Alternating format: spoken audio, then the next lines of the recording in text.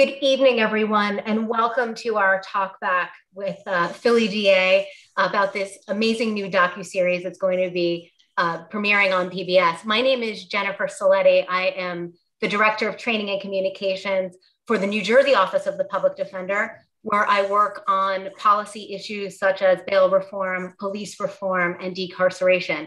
Many of the themes that uh, we you've already seen in, in the first episode of this docu-series. I want to briefly introduce you to our panel. They are a distinguished group, but I'm going to keep these short, these introductions short, so that we can get right to our conversation tonight. Um, first, the man of the hour, Larry Krasner, who is the Philly DA. He was formerly a civil rights and criminal defense lawyer who shocked the nation when he won his seat for district attorney in Philadelphia and ushered in this modern era of the progressive prosecutor. So, thank you for being with us. With us also is Mike Lee. Mike is an assist, the Assistant District Attorney and Director of Legislation and Government Affairs, and also the Supervisor of Adult Diversion for the District Attorney of Philadelphia. We also have joining us on our panel award winning filmmaker and video artist Ted Passon. Ted created and directed Philly DA along with his fellow creators, co director Yoni Brook and producer Nicole Salazar. And last but certainly not least, we have Judge Mark Bernstein, who served as a judge of the first judicial circuit in Pennsylvania for, I'm sorry, the District of Pennsylvania for more than 30 years. So, welcome everyone to our panel, and thank you so much for being with us. And to everyone at home, thank you so much for joining us and, and watching and being here for this really important conversation. So, I want to start and kind of get right to the heart of this first episode. Uh, revolution social experiment, anarchy. Those were just some of the words we heard in that first episode used to describe um, Larry Krasner becoming the DA uh, in Philadelphia. And I think that they really encompass this sort of feeling, the mixed array of feelings around this notion of progressive prosecutors. As a person who's been a lifelong public defender, I tell you, I struggled with this a little bit myself, with this idea of whether you can really change a system for the in, from the inside out or whether that's a myth. So my first question goes to you, Larry, and that's is is are, are you able to change a broken justice system from the inside out, or are you just another in a line of prosecutors who thinks you know better about who should go to jail and for how long?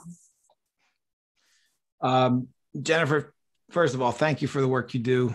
I used to do some of that work. I was a public defender five years, and then I was a criminal defense attorney who did a lot of court appointed work at times for another 25. And I mean it sincerely. Thank you for the work you do. But I have to tell you, I became dissatisfied with that work when I was approaching my mid 50s because I felt like I got a lot of I got a lot of justice for individuals in certain cases, but the entire time the system was getting worse.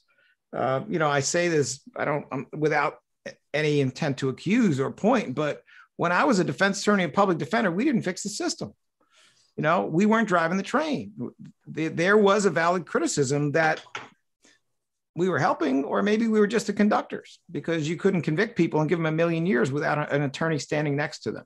And that, that really troubled me. It troubled me that what I viewed as being the wrong people had all the power. Uh, and, you know, and so my somewhat unlikely decision to run late in life for that particular job was all about trying to take the power away from people who had given us mass incarceration. Can you do something? I would say so.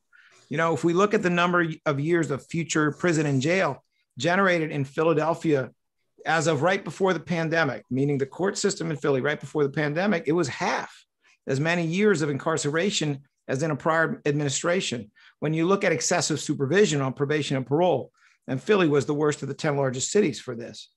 We cut it by two thirds. You know, when you look at protecting immigrants' rights, we did it. We broke a, a contract that lasted 10 years with the vote of a mayor, and we're able to protect immigrants as witnesses, as victims, but also treat them fairly as defendants. We're protecting workers now. These are all new things that happen. These these these directions, and um, you know, I I think that the work that public defenders do and defense attorneys do is incredibly important. But I think it's fair to say it wasn't fixing things systemically. We had become the most incarcerated country in the world, despite the you know the open hearts and the bright minds and the incredible hard work and talent of people like you and like me And uh, Judge Bernstein, were you a public defender? I can't remember. Yes, you were. I thought so. But I, I, you know, I just had to admit at a certain point in my life that I felt like um, I, would gotten individual change, but I wanted sweeping change, and and I've had this wonderful opportunity to try to get some of it.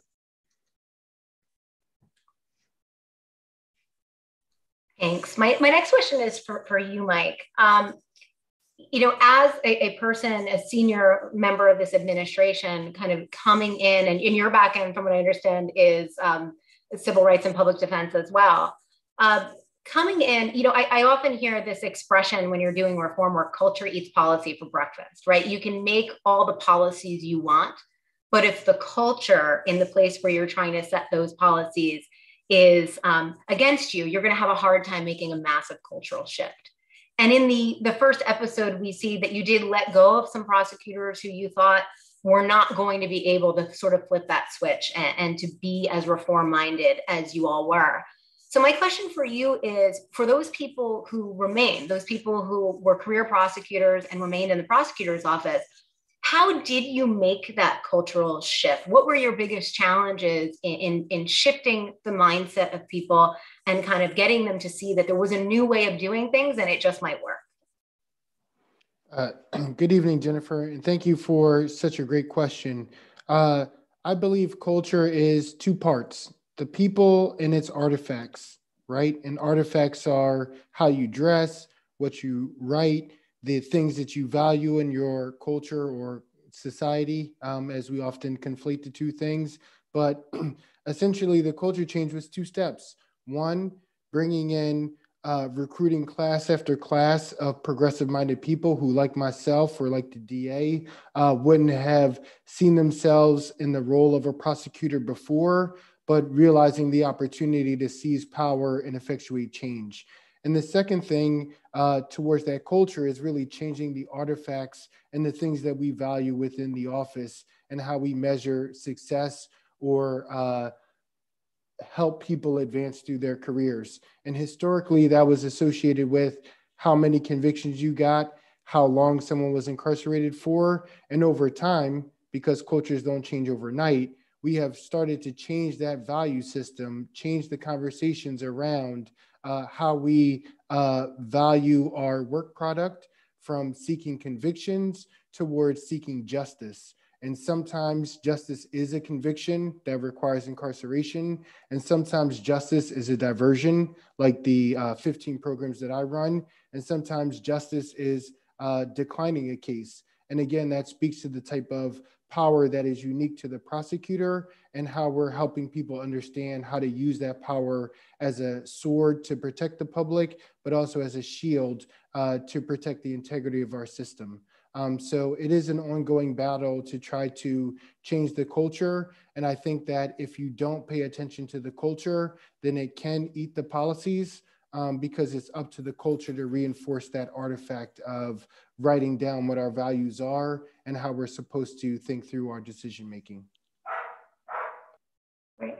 I, I want to talk a little bit um, about some of the policy changes that you made early on. And this question is, actually going to go to Ted, um, but framed um, against the backdrop of the work that you've done on police and prosecutorial misconduct. Um, I remember being across the river and hearing about the day you released the do not call list. And New Jersey has, has not done a great job with police transparency. So I was rooting for you um, from across the river. Um, and that was a big moment and that was 2018 and and ted most of this documentary was shot in 2018 uh, before george floyd's death and before this sort of national acceptance of this conversation about police misconduct so I, I, am going to kick it back to, to Larry and Mike in a little while to talk a little bit about their police reform efforts. But as, as a starting point, Ted, I'm just curious if you were making this documentary now, today, would things be different? Would you frame any of the police misconduct discussion or, or how you shot this film differently in the wake of George Floyd and this very public conversation about police misconduct? Um, are there differences that you're seeing between 2018 and 2020? And would that have affected your filmmaking? Uh, that's a great question. And hello, and thank you for having me here. Um, Yeah, you know, I, honestly, I mean, you know, because we were still in the wake of Ferguson when we were filming, and so I do feel like there, there, you know, that was the a, a really big step in kind of mainstreaming the concept around police brutality.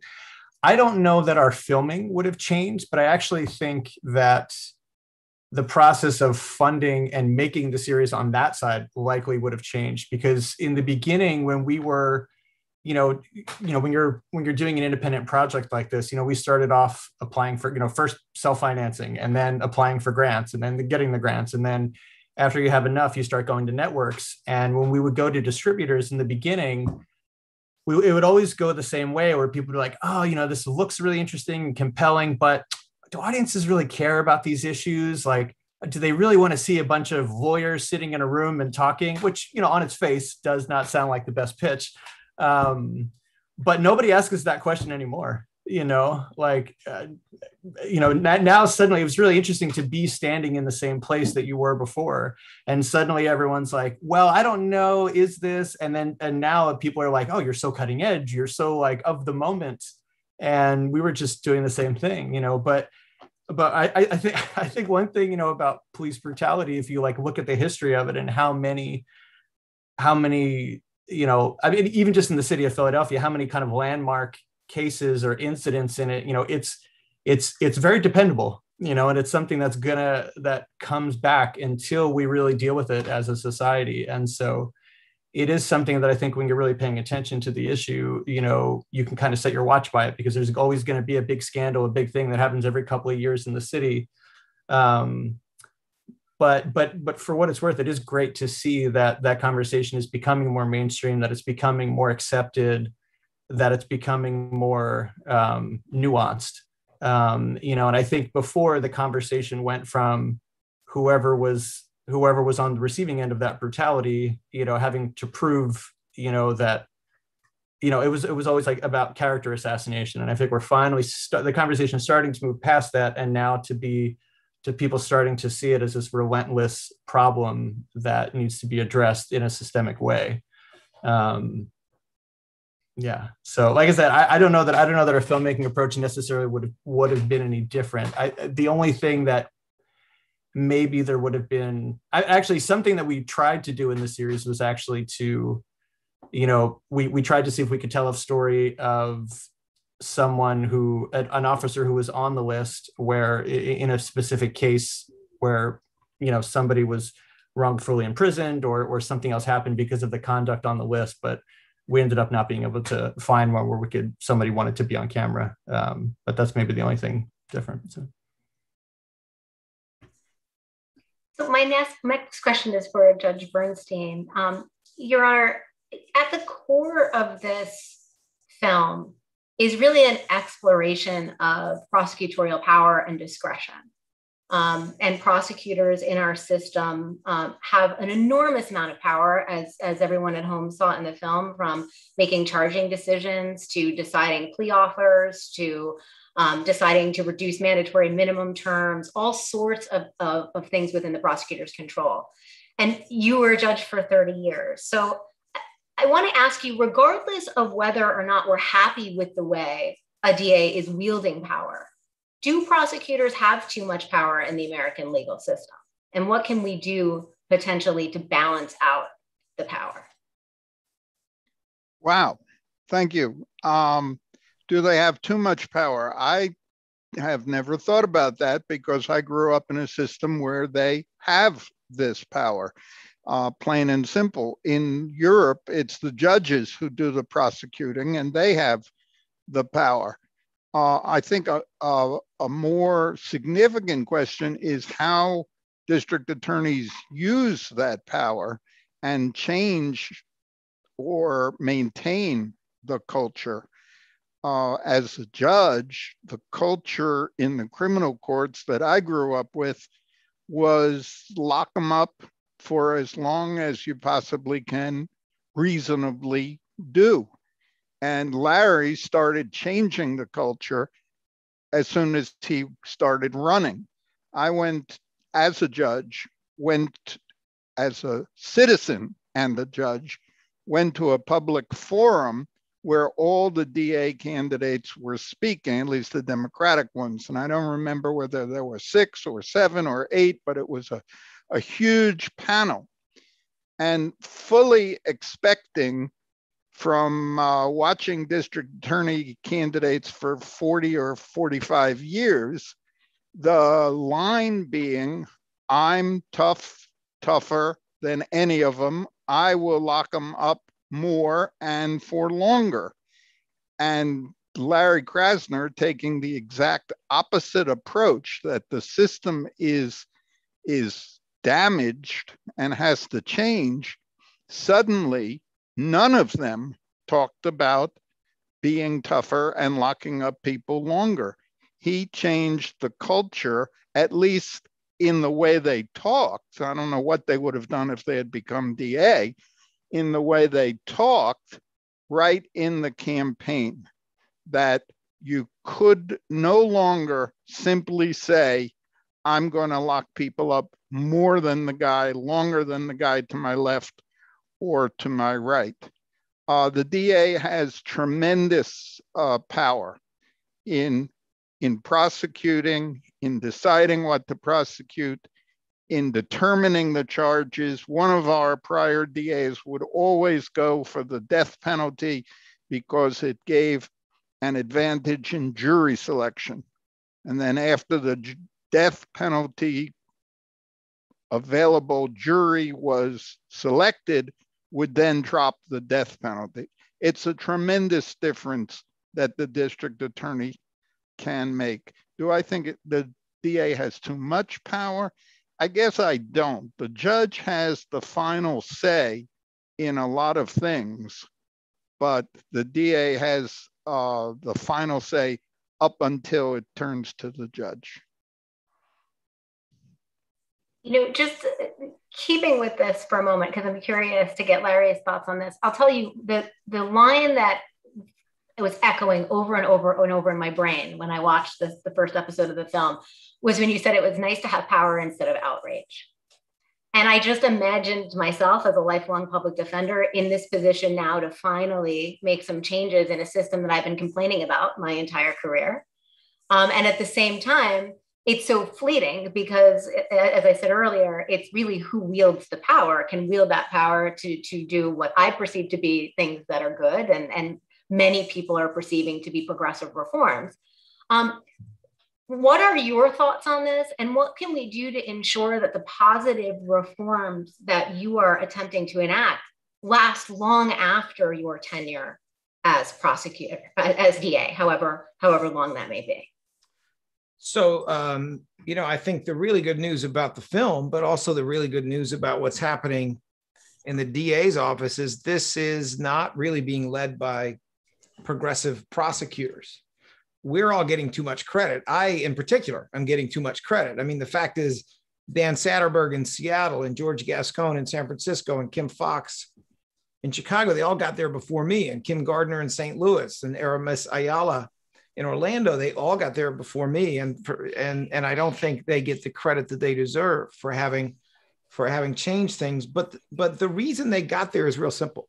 It is that the crushing weight of mass incarceration was so destructive to so many people that people wanted change.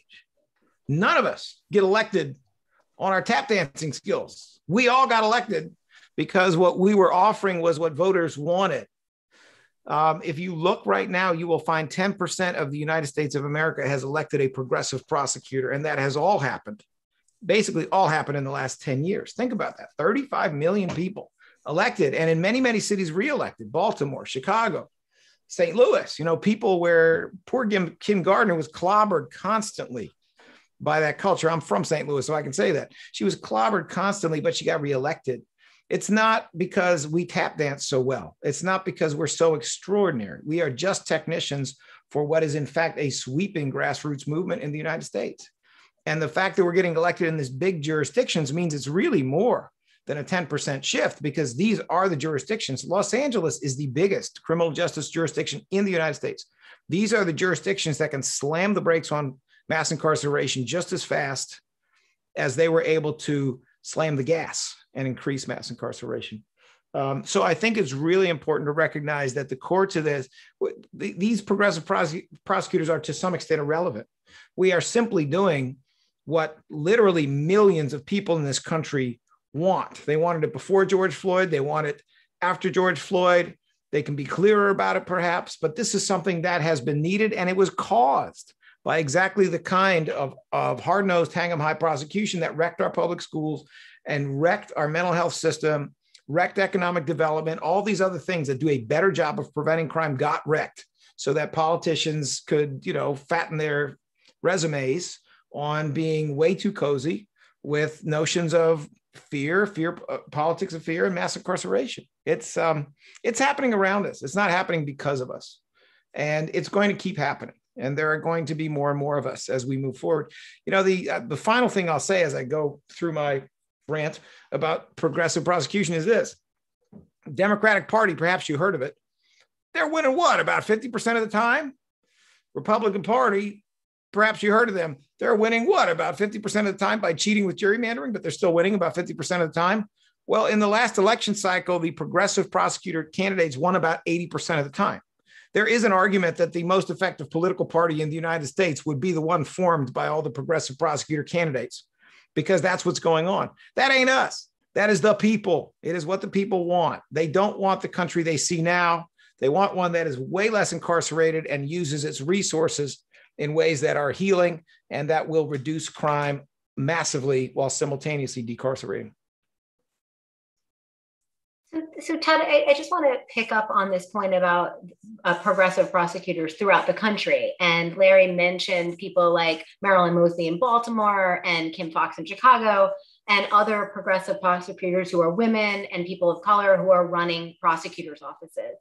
Um, and there has been some suggestion that Larry is getting a lot of share of the credit for the progressive prosecutor movement, and some of these these women and other candidates have been overlooked. So my question to you is, um, why focus this document docu series on Larry Krasner? How did you land on him to be the figure through which we were going to view this this progressive or reform minded prosecutor movement? Sure. Um, it is a very uncreative uh, reason, which is simply that I live in Philadelphia and um, Larry is the DA in Philadelphia. And, you know, uh, frankly, like even if we even if we had hoped to um, replicate what we were doing with Larry with another DA somewhere else in the country, we frankly just didn't have the money to do it. You know, we were we were self-funding the project for about a year um, before any grant money came through. I mean, typically to start a documentary, you need several months of filming under your belt before you even have the materials together to even present to a grant making institution. And so it frankly it was just the only pragmatic way to even to make the project was just to do the one that was in our own backyard and just coincidentally i mean honestly one, one of the other reasons that we thought we could we could pull this off is because our office just happens to be a block from the DA's office, and that literally was a factor. You know, it's like okay, we could, I think we could afford this. You know, um, we were we're still scraping to get by, even to do that, not paying ourselves for the first year. Um, and but also too, it was important for us from a storytelling standpoint to do something experiential because we felt like if we had done just like a talking head documentary where you go around and have people tell you things that happened after the fact, uh, it may have been somewhat interesting, but it wouldn't have accomplished what we hoped to, which was to like immerse you in something, to put you in the to put you in the seat. There's a difference between you know hearing something in the past and then being with people in the present, where they're actually trying to figure stuff out for the first time, when they're being confronted with these really big questions about how to make change and having their assumptions being challenged right on the spot. There's a really universal human experience in there that I think we can all latch onto, and it just makes everything a lot more vivid and real. And um, that's what we wanted to do, and so it had to be somewhere where we where we were. Um, um, yeah, but you know, we we wanted to make sure that we definitely acknowledged and shouted out the progressive prosecutor movement that came before Larry. So we made you know made sure to do that in the first episode. I mean, frankly, if we happened to have lived in a different city, it wouldn't have been Larry. It would have been whatever DA was in that city. Um, just happened to be Philly. Um, But uh, for anybody who is uh, fans of some of the other progressive prosecutors, um, in future episodes, you will see cameos by Kim Foxx, uh, cameos by Rachael Rollins, uh, a cameo by Aramis Ayala. And so, when possible, you know, we we did find ways to work some of the progressive DAs in there um, as well to to round out the story. So um, there are questions coming in about bail. And so, and being from New Jersey, where a couple of years ago we massively overhauled our bail system, I do have to ask about bail in Philadelphia because you've kind of gotten some heat from both sides about your position on bail. In, in we saw in the first episode of the docu series, we saw um, you declining to ask for any money bail on a, a, group of, I think it was 33, 25 to 33 um, misdemeanors and got some heat from the cops for that. And on the other side, um, recently have you've moved to this system of asking for either uh, release or bails of $999,999. Um, and you've taken criticism from some of the bail funds and some progressive groups on, on the fact that this is going against the campaign promise. It's kind of taking, taking us back to a situation where people who cannot afford to post bail, people of color, poor people are unable to post bail. So, my question for you is why not advocate for legislative change like we saw in New Jersey, like we saw in DC, instead of sort of creating this de facto detention by asking for bails that poor people can't make? So that is a great question requiring a 1.2 hour answer, but let me try to give you a shorter one. Um, we have. I mean, I have said over and over and over again, please, Lord, give me the legislation they had in Washington, D.C. 30 years ago that says that judges cannot use money. But what a lot of people don't understand about a no cash bail system is that people are held in DC for 30 years. They've had a no cash bail system where 12% approximately of all the defendants are held and they're held pre-trial and they're held for a very good reason, which is they present such a danger to the community that that's the right thing to do. The other 88% get out and money's no part of the equation. There may be some kind of what you might call a sweat bail in the sense that some of them will have to go check in to address issues that may involve may have involved them in the criminal justice system, addiction, homelessness, mental health issues, things like that. But money shouldn't be there. Money should never be there. The problem that we are having, which is inflaming both sides, um, is that we tried to simulate a no cash bail system in Philly, which is a cash bail system. And that meant that we went to either we're going to ask for no money or we're going to ask for a million bucks. And by the way, it's not really a million bucks. It's actually 10% of that and three and and only a third of that if you go to a bail bondsman so let us not get too excited by the numbers but we did try to simulate a no cash bail system and and to do so by saying big number or no number is what we want um, the system is not accepting of what we are doing we've done a very good job actually of moving the system away from the low bails that used to keep poor people in for nonviolent, non-serious offenses. That has improved very significantly in the last three years, and we're proud of that. Uh, we have had very little luck in convincing judges that when someone shoots somebody else and paralyzes them, that they should stay in custody, which is what I believe. And uh, because what actually happens is they're getting a bail on average that requires them to pay about $3,333. And we're having this happen in the middle of the biggest national spike and local, well, not local necessarily, but biggest national spike of shootings and gun homicides, uh, arguably that we've seen in United States history, right? So, uh, I mean, look, for people who think no one should ever be in jail before trial, they think Ted Bundy should literally go home and do whatever he wants to until he comes back to court. They're not going to like it because we think some people should be held. Uh, for people who think everybody should be held and want to go back to mass, mass, mass incarceration, we're not with you. We think that we need to try to be surgical about this. It shouldn't be a chainsaw. But the problem is, we're asking for a scalpel. We don't have one because we're in a system that is uh, drunken on cash bail. Municipalities live off of that money. They keep that money. They use it for fines and costs. They fund their budgets off of it. Private bail bondsmen or bonds people have lobbyists. They make tons of money off the private bail industry and you know it, it's a, a, little bit like um, it's a little bit like just trying to wish away cash bail. What we really need is what Washington, D.C. did 30 years ago. And to Jersey's credit, I mean, Jersey has done a very good job. Illinois, more recently, Kentucky, this is the national trend. But believe it or not, Philly's not quite ready to go with the national trend. So we have a mess, simply put. Judge, I, I want to take it back to you for a moment because we've heard about a lot of reforms, um, police reforms, creative solutions to a problem with bail in Pennsylvania, um, diver- more diversion programs, all sorts of things that are very new to Philadelphia. And you do hear critics, um, police and, and some other groups that are critics of this administration saying, well, the sky is going to fall and there's going to be people running through the streets committing crimes. It was the same thing we heard when we were overhauling the bail system, uh, which didn't happen. Um, so my question to you is: Has the sky fallen with uh, with these reforms? And uh, what are you, what are judges sort of seeing in their courtrooms? How different is it in the courtroom um, when you have these sort of more creative and more reform-minded re- approaches to the criminal justice system? That's a great question. That gets to the culture of the courtroom and the culture among judges.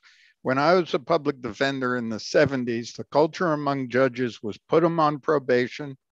And then when they violated after three years, put them on three more years. And then when they violated, put them on seven years. And you had people literally on 20 years probation.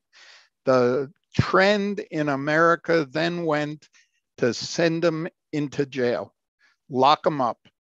And the courts are conservative and slow, but eventually we get to what the public wants. And for the longest time, it was more and more with the DAs uh, egging it on to have longer and longer jail sentences. So the courts are not going to react very well to changes very quickly, just like Larry uh, just described. Uh, bail or sentencing or probation, it's going to take a cultural change among the judges thinking in order to get something done. It cannot be done in four years. And it can go back immediately uh, to the old system if there's a district attorney who wants to charge everybody to the maximum and uh, who values convictions. There's always been the concept that the district attorney isn't supposed to just get convictions, they're supposed to do justice in the courtroom. And uh, sadly, that's not really what I have seen among the district attorneys practicing in Philadelphia. Um, so the question really talks about the culture change, and it's not going to be uh, that easy or or quick. It's more, more of a long haul uh, project, not a instant change.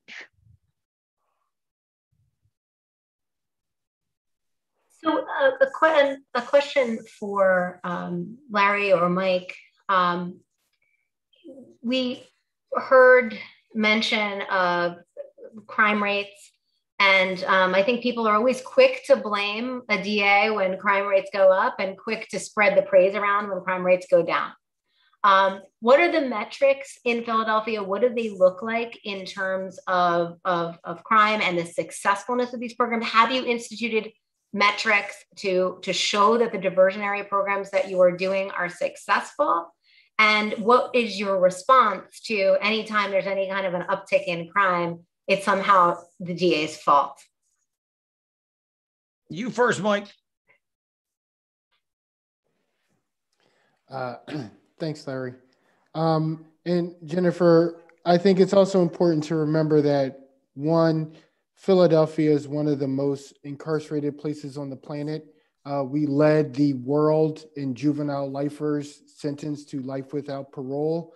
Um, and that is the history to which Judge Bernstein is speaking. So when he's saying lock them up, I think it's important that we explicitly say he's talking about people that fit the demographic I recently aged out of, which would be uh, young African American men. And that has caused seismic impacts on uh, cultures and communities within Philadelphia. So, with that in mind, we are applying more equity, meaning that uh, we are trying to make decisions today conscious of the injustices of the past. So we are diverting more cases. We are diverting more people who might have been excluded because of prior criminal history, which is also steeped in racism, sexism, and classism. So we are being very proactive with that. And I think our consistent message has always been and will continue to be as progressive prosecutors, if we really want to address the motivations for crime, it's much more about addressing social determinants, like how many public schools are open, what is the funding level for those schools, what is the surrounding community and family structure for individuals who are thinking about um, engaging in criminal activity. And I think diversion really is uh, the gateway opportunity for us to take a step back as a criminal legal system and allow more community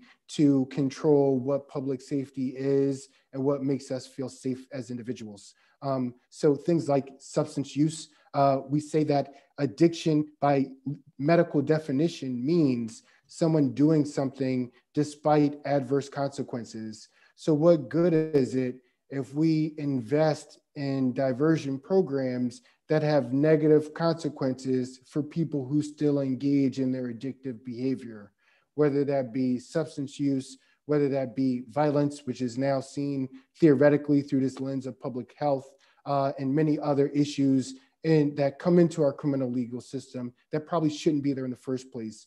So until we can create a robust public health response to public substance use or problematic substance use, until we can create the uh, moral tolerance for sex workers, we have no choice but to either decline arrests made by police in response to community complaints or concerns, or divert those individuals and not just to another courtroom, but out of the criminal legal system as a signal to the rest of society um, to what the DA is talking about, in that uh, 80% of progressive prosecutors are winning because this makes more sense because what we've done for the past hasn't really made us safer, hasn't lowered crime rates, and has only criminalized uh, the existence, even more so, of low income people, Black and Brown people, women, and other people who feel marginalized. So, to the extent that those people will still be arrested, um, I think we have a duty and obligation to create off ramps for them while still screening through for the very few people who are drivers of uh, really violent crime or abhorrent behavior that might require a period of incarceration to wrap around the restorative process of treatment and services. DA Krasner, back to you. Well, thank you, Mr. Lee. And um, if there's extra time, I can only hope that Mr. Lee will will render his famous uh, penguin story for all of you, which is not to be missed. I'm not kidding. It's a beautiful thing. It describes this movement. But anyway, um, so you know, one of the things I really love about the parts of this film I've seen, and I, I have well, this mini series I've seen, and I had to see some of it to make sure that Ted wasn't going to get us all locked up for revealing things that are violations of the law. But one of the things I really loved is that I think it has the capacity to shake people's thinking around criminal justice, which has been very simplistic because thank God it's not actually about me. It is about, uh, it is in many ways, uh, in the first episode or two, it's got something to do with me, but then it very quickly look, it turns into a broad portrait of several people in the office, including Mike Lee, including Bob Listenbee, including Judge Temin, including Dana Bazelon, others who are trying to make this kind of momentous change and are feeling their way as they go. And then it gets even broader. Then it becomes a look at our opponents. You know, the judge who proudly says there is no mass incarceration. Really? Can I see those statistics? Or it's the, uh, you know, or it is T, this um, this person who has been supervised excessively by a system that is uh, crushing the future. Right? Fascinating character. Latanya Myers, who becomes a bail navigator, also known as T.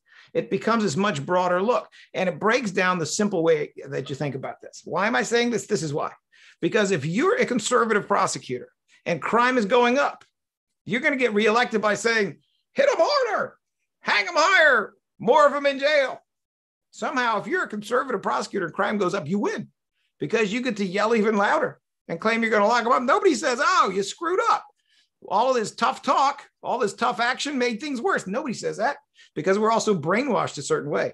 On the other hand, if you are a progressive prosecutor and crime indicators, even in one respect, are up. Oh my God, there's zombies running in the street. There's blood pouring down the gutter. It's all because of these progressive prosecutors. Ah, and some of that is going on right now, right? So that is one of the things I love about it is it, it tends to break up this idiotic comic book thinking about criminal justice. Here, here are the facts in Philly, just in case you're amused. And I don't think I'm responsible for this, you know, positively or negatively, but let me just tell you the facts.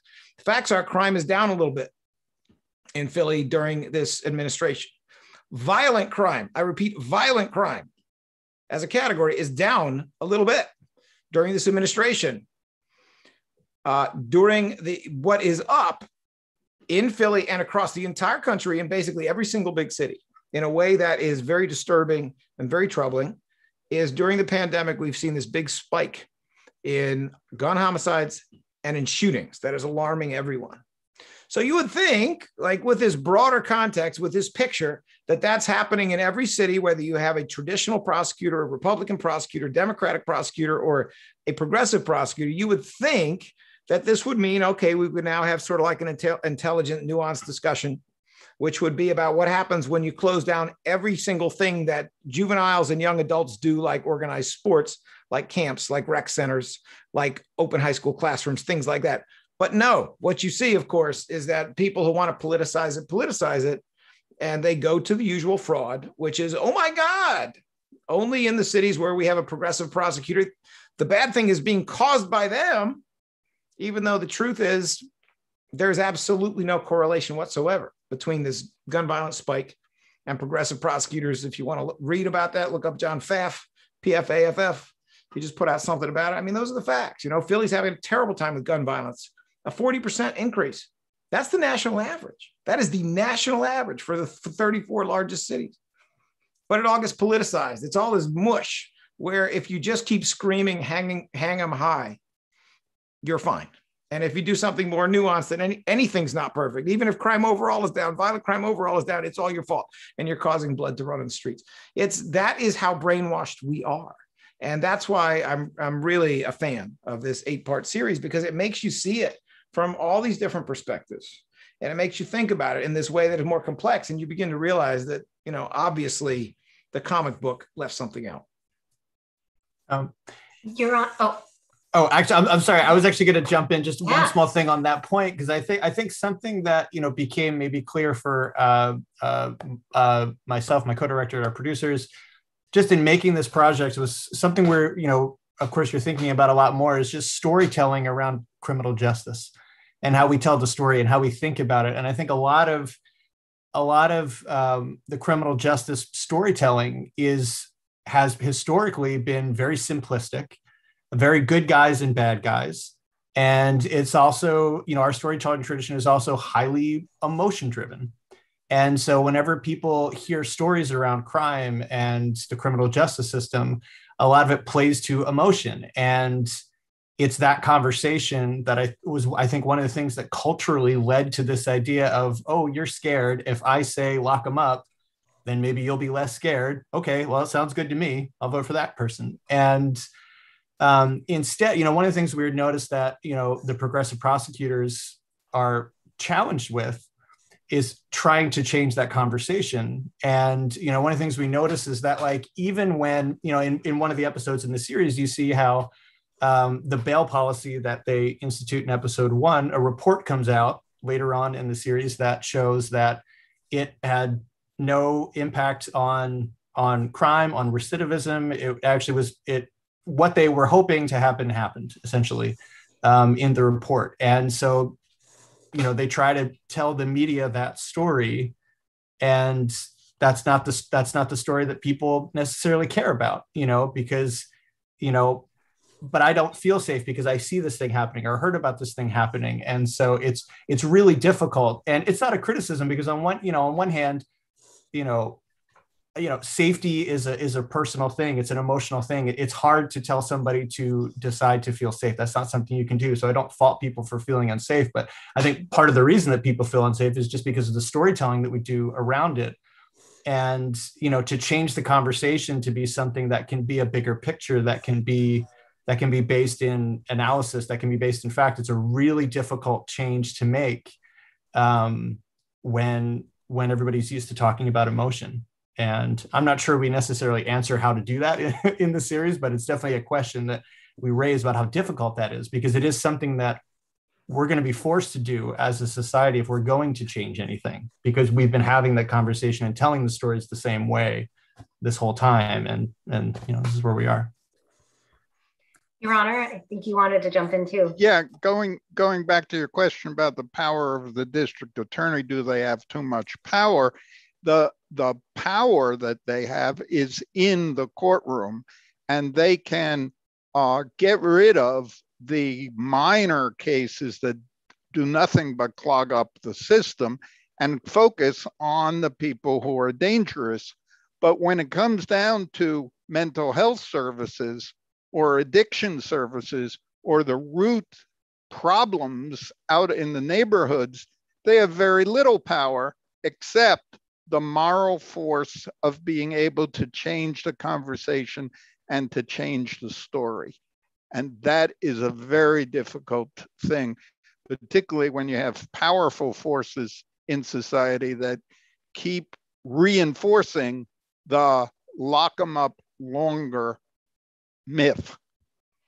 So they're, they are powerful in a certain way, and really not powerful in other important societal changes, except to try to change the conversation. And like I said before, it was remarkable to me that just by Larry changing the conversation by running on a different theme, changed the conversation. But it's it, it's a long-term process, not a quick fix at all so I, I want to get at there's some questions coming in from the YouTube from the the other platform about um, police and policing, and we we talked about that a little bit earlier. Um, someone put it bluntly in the chat and said, "Are you still in an adversarial position with the Fraternal Order of Police?" Um, so I, I would ask you that question, but also sort of more broadly. I know in New Jersey, we're trying to do police reform. We're trying to get more transparency from policing. And it seems like every time you ask police to be accountable, it somehow means that you're at odd with odds with the police. And we saw that kind of coming up in the first episode and even more so in the second episode, which I was really privileged to be able to see of the docu series. Um, so, why is it that if you want police to be more accountable and more transparent, that you are somehow put in this bucket of being at odds with the police? And how do you reconcile that? So it's a great question, but I think I think it's very important to talk about what we mean when we say the police, because the head of the Fraternal Order of Police is not a cop, has not been a cop for a very long time. Um, and you know, in many ways, he's completely at odds with the commissioner the truth about our fraternal orders of police, our brotherhoods, which they're all called because they all have anti union misogynist names, the truth about because they used to put down protests, in case you all forgot. But the truth about them is that they are run by their retired membership. The Fraternal Order of Police in Philly is close to 20,000 people, but there are only 6,500 active officers. So who do you think are the rest of the votes? for who's the leadership. Well, think a minute about who those retired people are. They're coming from uh, from in Philly, the Frank Rizzo era or the post Frank Rizzo era, which was all about racism and brutality in very, very explicit terms. Um, it was all about an extremely hang 'em high approach, right? So if that's the retired membership determining the leader, determining the leadership, then don't be surprised when you have the heads of unions all over the country talking crazy right wing talk. I mean, in Philly, they've endorsed Donald Trump twice without taking a vote of the membership and they have done so for a city where seven out of eight voters are Democrats, a city that hates Donald Trump. They are out of touch in the leadership of the FOP with Philadelphia, but they're also out of touch with the, the current modern active membership because we have far more women in our police department. We have far more people of color than we used to have. We have people whose life experiences are quite different. They may be 22 years of age and they've had a brother who died of a heroin overdose. They're seeing addiction differently than it was seen during the war on drugs. They're open to things that they weren't open to before, right? So I say that because I think it's an important distinction. I am not going to get along with the current head of the FOP. If I did, I should quit. This is a guy who has beers with the Proud Boys in the officers only section of the FOP, lies about it, and then gets exposed by the Proud Boys on social media because they're proud and they put up the pictures. This is a guy who in 2017 uh, did a press conference in which he said that Black Lives Matter is a quote, pack of rabid animals, unquote. This is a guy who defends police officers in uniform with exposed and visible Nazi tattoos. No, I will not be getting along with that man. My father served in World War II. I don't do Nazis. Okay. But that is a completely different issue than the very amiable and constructive conversation I had with Danielle Outlaw, the African American woman who is only 42 or 3 and who is the head of the Philadelphia Police Department, in which we brought about yet another form of collaboration that I think goes towards uh, doing a better job and having more integrity. In many ways, I'm helping Danielle Outlaw against John McNesby because when she fires somebody, she wants them to stay fired. And if it just so happens she wants them to stay fired because of, of a crime. The surest way for them to stay fired is for me to prosecute them and get them convicted because there is a whole pack of sleazy arbitrators there ready to put cops back in the department no matter what she does as the chief, but they can't do it if, if there's a conviction.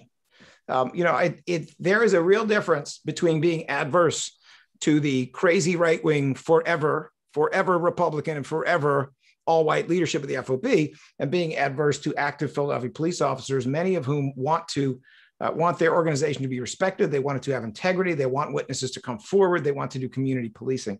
I think we're doing a pretty good job of getting closer and closer to the best kind of police officers in Philadelphia. We will never, we will never uh, be be uh, you know pinky swearing and drinking beers with the Proud Boys in the officers only section of FOP Hall with John McNesby. A question for Ted. Um, do future episodes of the series address the biases um, and the distinctions between um, the, the officers who are serving now and fraternal order of police? Are, are these themes that are going to be explored and addressed in future episodes? Uh, yeah, as a matter of fact, uh, the relationship with the police kind of uh, continues as we go forward. In episode two, so episode one ends uh, with the discovery of the police, uh, what becomes the police misconduct database.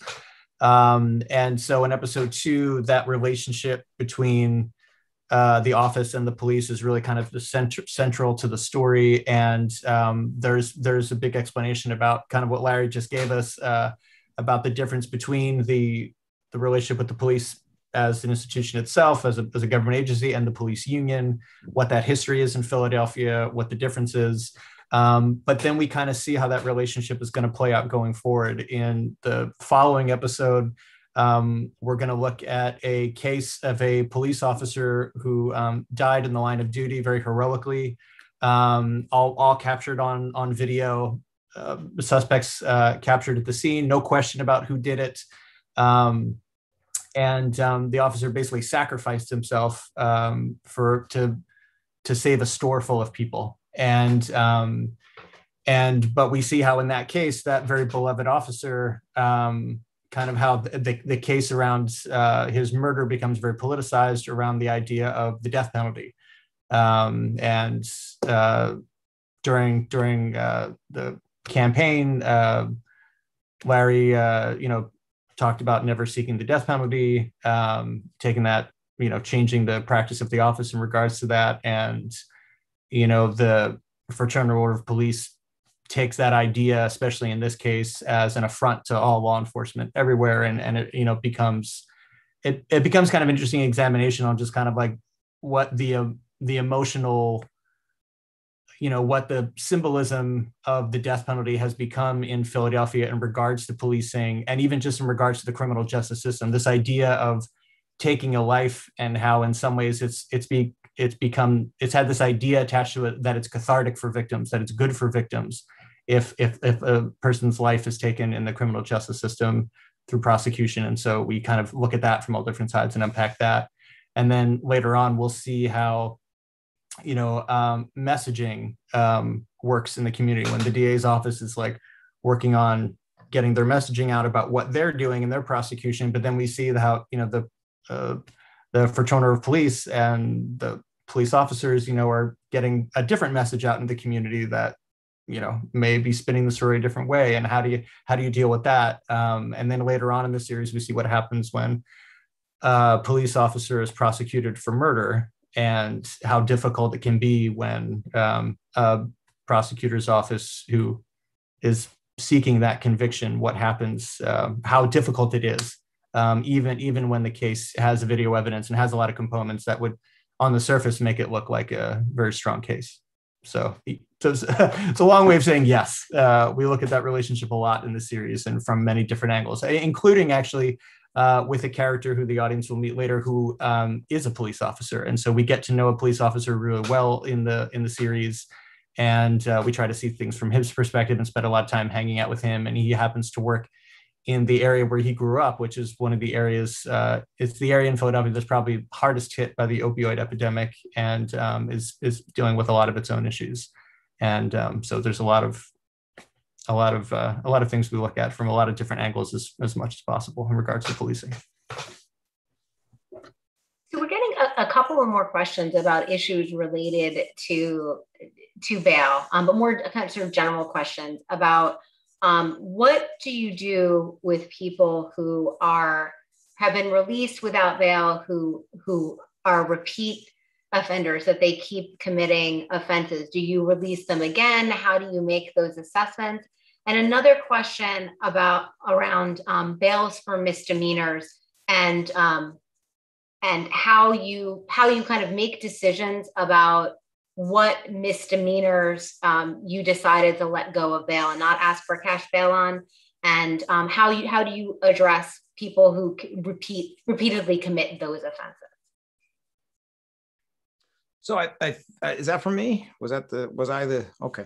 Yes. Um, all right, thank you.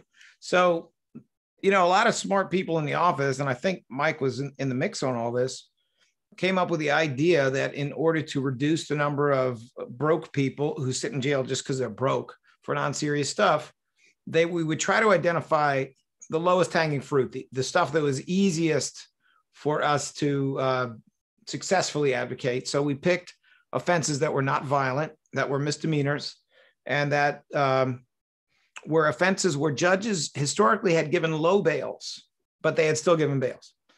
Uh, so you know, picking that group, we weren't asking judges to stretch all that much by going to no bail.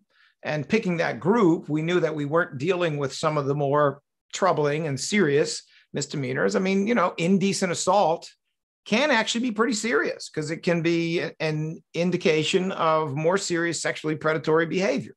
Uh, a simple a simple assault, meaning a fight in which you point a gun at another person but you don't fire it, that is pretty serious but that can also at least at certain times it has been can be a simple assault right so you know to a large extent we have always made all of our policies the opposite of mandatory sentencing every single policy is a presumption. We always allow for the possibility of an exception. And i think this answer maybe goes to the other question.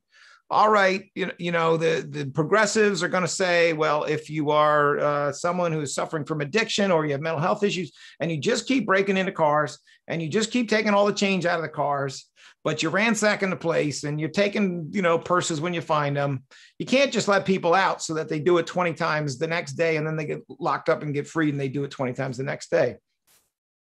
And the answer is no, you can't. When you if you have someone who uh, whose behavior is perpetually committing the same crime over and over and over again, there comes a point where the argument becomes maybe you got to sit in jail with your 20 open breaking and entering cases for cars. Maybe you got to sit in jail until we get you in front of a judge and then figure out what it is you really need, whether that is, you know, some some kind of inpatient long-term drug treatment, some kind of mental health assistance and medication you're not getting whatever it may be.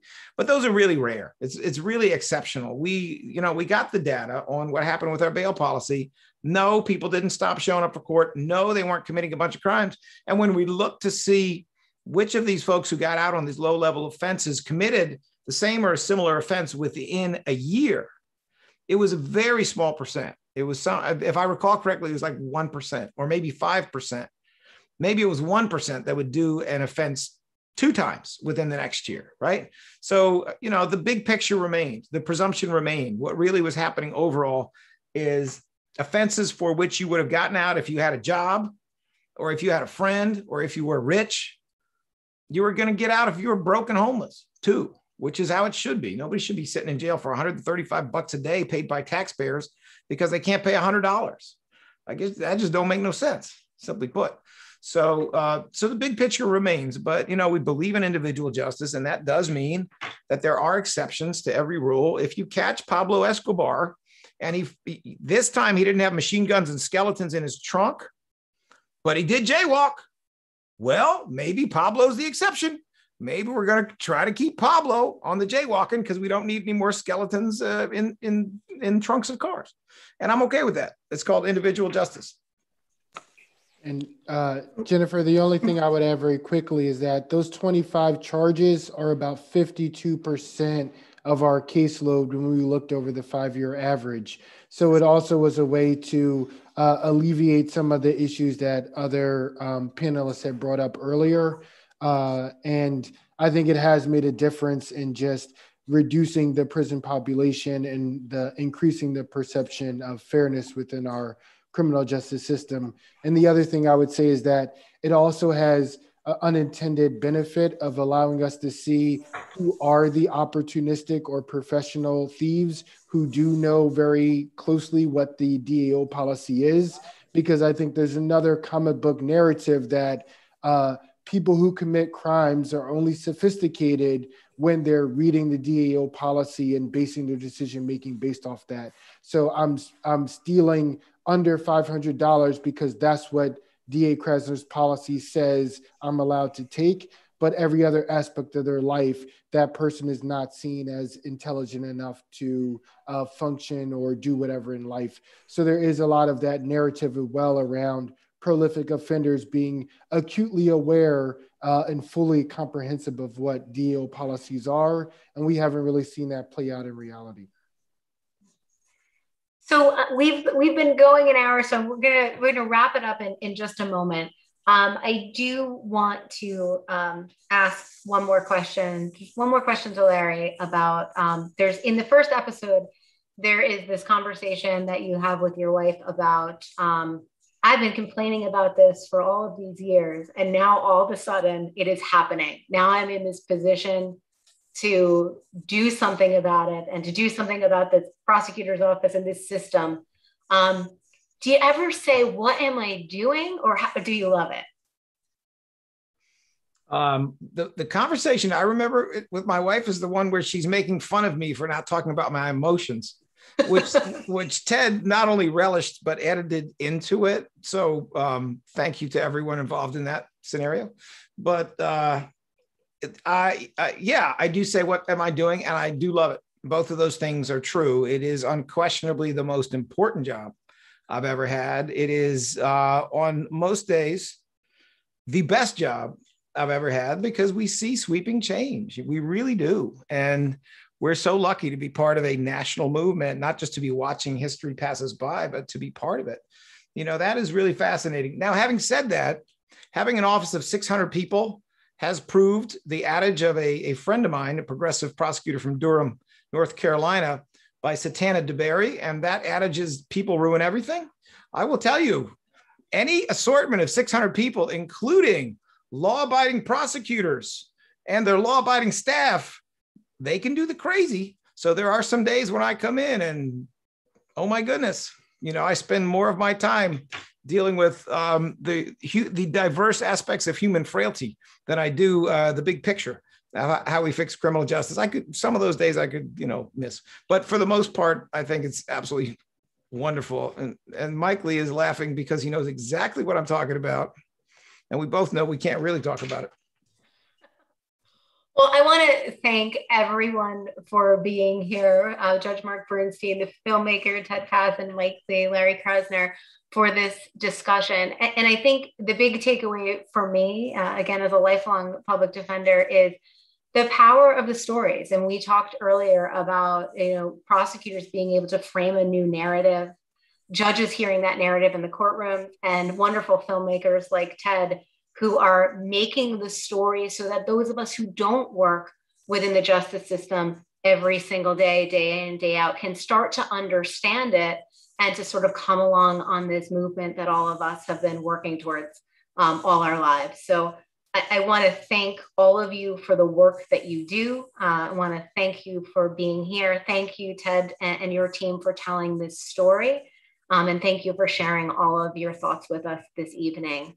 Um, and to everyone watching at home, thank you for your, your thoughtful questions. Philly DA will premiere on your local PBS station on Tuesday, April 20th, and it will be running for eight weeks.